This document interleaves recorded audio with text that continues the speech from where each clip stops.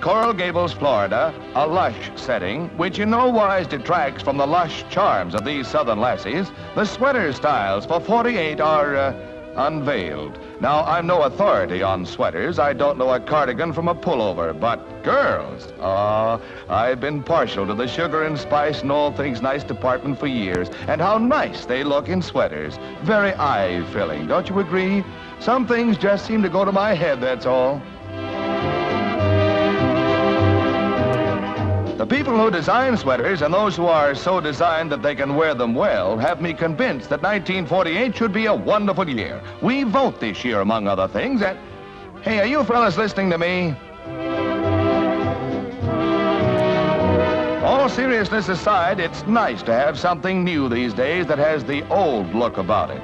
Hemlines may be down, but a sweater is still a sweater.